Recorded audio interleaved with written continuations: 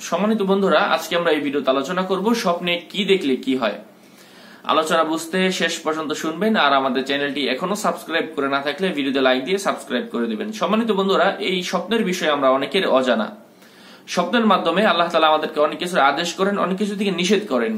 সেগুলো কিন্তু আমরা ঠিক মতো বুঝতে না পারার কারণেই বিপদের সম্মুখীন হই। এজন্য এই বিষয়টা আমাদেরকে খুবই মনোযোগের সাথে শুনতে হবে, জানতে হবে, বুঝতে হবে। তো চলুন আজকে আমরা কিছু বিষয় জেনে নিই। স্বপ্নে কি দেখলে কি হয়? তন্মধ্যে স্বপ্নে কেউ যদি ঘর বিক্রি করতে দেখে, তাহলে ইহা বিপদে পড়বে।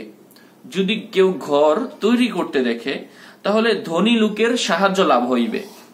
তদ্রূপ কেউ যদি তার নিজের ঘরের মধ্যে আগুন লাগতে দেখে, তাহলে এই স্বপ্ন দেখার অর্থ হলো সে বিশেষ করে কোনো বিপদে পতিত হওয়ার ইঙ্গিত বুঝিয়ে থাকে। ঘরের আগুন যদি কেউ নিভাইতে দেখে, তাহলে এই স্বপ্ন দেখার অর্থ হলো, দুঃখের পর সুখ তার জীবনে প্রচুর পরিমাণে আসবে।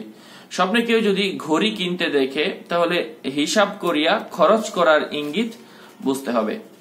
তদ্রূপ স্বপ্নে কেউ যদি ঘাস দেখতে পায়, তাহলে এই ঘাস দেখা উত্তম কোনো বন্ধু লাভ হওয়ার ইঙ্গিত বুঝাইয়া থাকে। স্বপ্নে কেউ যদি ঘাস কাটিতে দেখে, তাহলে ইহা রোগ মুক্তির লক্ষণ অথবা ঋণ পরিশোধ হওয়ার ইঙ্গিত বুঝিয়ে থাকে।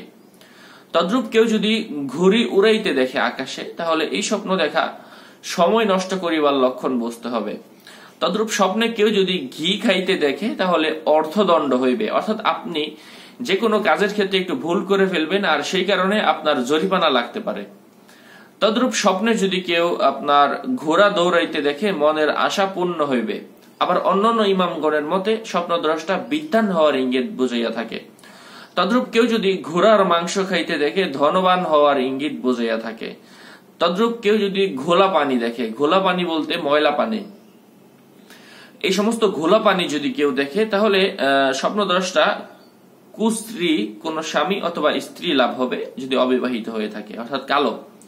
স্বপ্নে কেউ যদি ঘোড়ার চাবুক, ঘোড়ার মধ্যে উঠে ঘোড়ার ঘোড়ার চাবুক দেখতে পায়, তাহলে ইহা বিবাহ হইবে, অবিবাহিত হইলে। স্বপ্নে কেউ যদি ঘোড়া তার নিজের বাড়ির মধ্যে প্রবেশ করতে দেখে, তাহলে ইহা বিখ্যাত কোনো মানুষের সাথে সাক্ষাৎ হওয়ার ইঙ্গিত বোঝাইয়া থাকে।